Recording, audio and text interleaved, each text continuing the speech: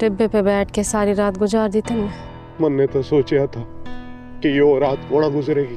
तो गुजर गई ना फकीर।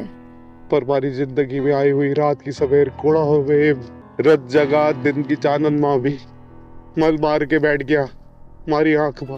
हाथ जो बाँध दिए मारे मारी भाड़ों ने। सारे मरने से डरे है वो। वो सोचे है कि मैं जी रहा हूँ। यो भी कोई ज़िंदगी है। जैसे भी है फकीर। जीनी तो पड़ेगी। ये वो सुनन की बारी। महल वाले यहाँ की है बस। ए फकीर देखिए जिंदो बुध रात आठ बजे। क्योंकि मैं ग्रीन हूँ।